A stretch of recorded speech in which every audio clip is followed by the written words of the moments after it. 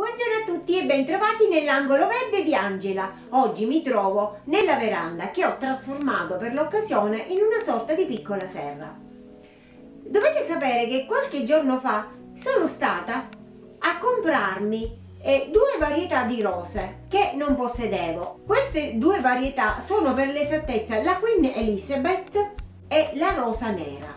Erano due varietà che inseguivo da parecchio tempo e finalmente fanno parte della mia grande famiglia di rose. Come appunto vi ho detto, oltre queste due piante di rosa ho comprato delle bustine con dei semi, tra cui la stevia, la camomilla e dei fiori. Adesso vi faccio vedere come io li pianto. Ma prima la sigla e poi passiamo al video.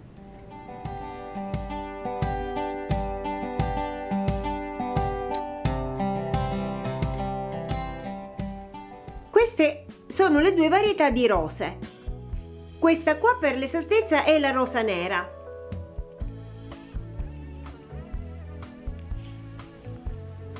E questa qua è la Queen Elizabeth. Li ho tenuti qualche ora in ammollo, dopodiché li ho trapiantate in, in un buon terriccio universale mischiata a della terra. Ho messo un po' di letame maturo e quindi le ho trapiantate. Adesso non mi resta che attendere il loro sviluppo. Nel frattempo vi faccio vedere alcune delle rose che l'anno scorso io ho ottenuto con la talea.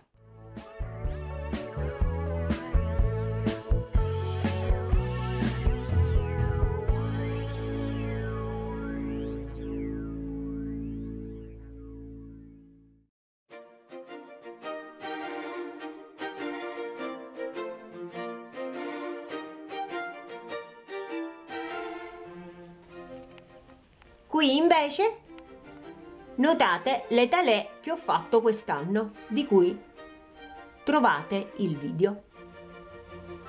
Mentre da questa parte trovate le talè che ho fatto di uva.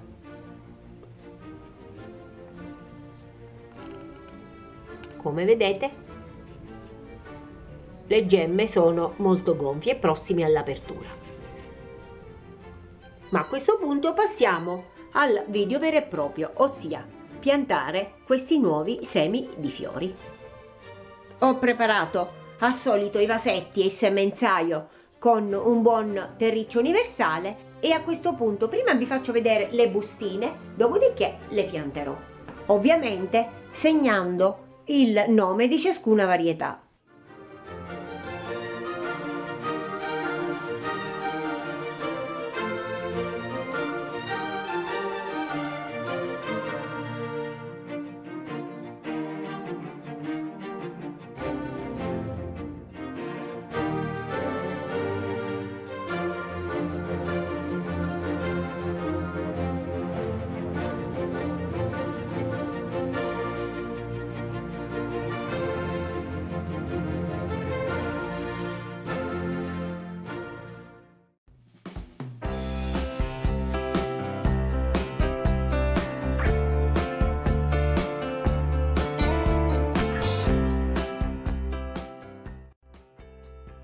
Che io avrò ottenuto le piantine ovviamente io le metterò direttamente in piena terra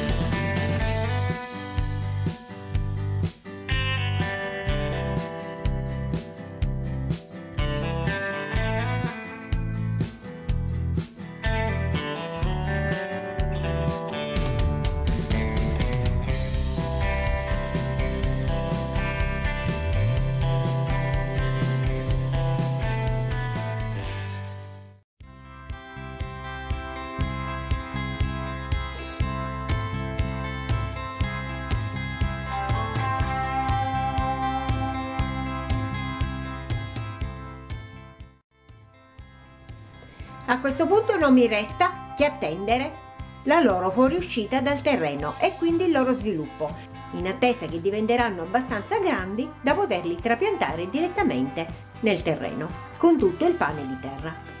Quindi a questo punto anche voi cosa aspettate? Siamo nel periodo giusto. Compratevi anche voi i semi dei fiori che preferite avere nel vostro giardino o sul vostro balcone o davanzale.